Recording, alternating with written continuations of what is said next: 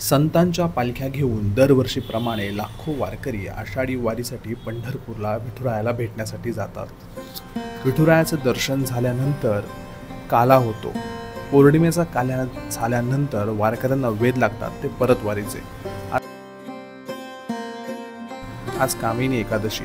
ह्या एकादशीला सर्व संतांच्या पालख्या ह्या आपापल्या गावी पुन्हा पोचतात मराठवाडा आणि विदर्भातील अनेक पालख्या ह्या आपापल्या गावी पोचल्या